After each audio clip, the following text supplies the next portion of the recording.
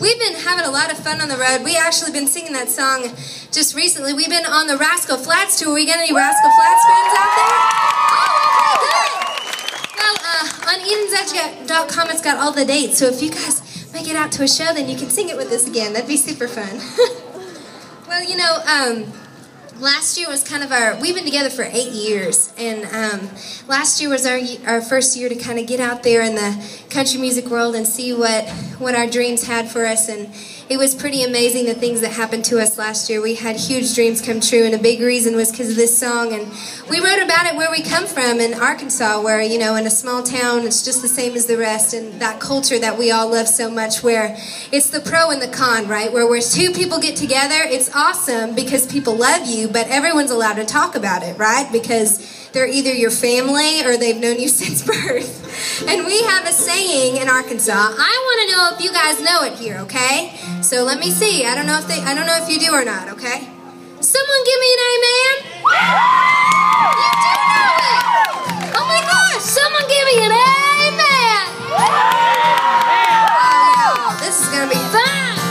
All right, let me hear you singing loud Happy birthday down there.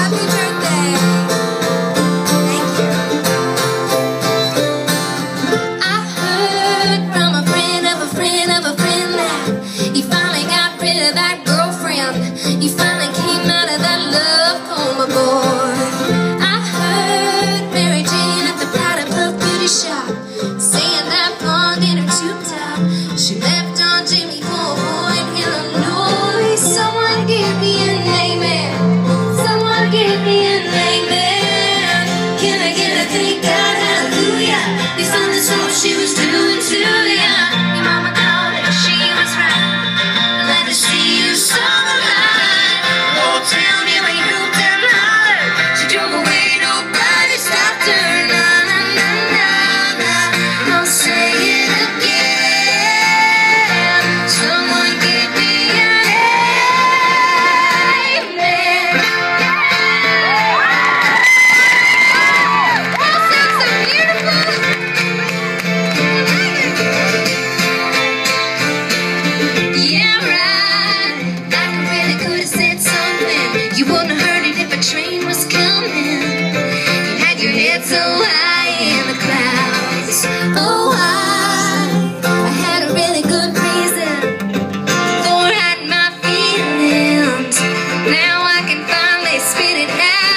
Someone give me. Someone give me. Can I get a thank God, hallelujah? She was doing to you. Your mama called it, she was right. Glad to see you the light. The whole town,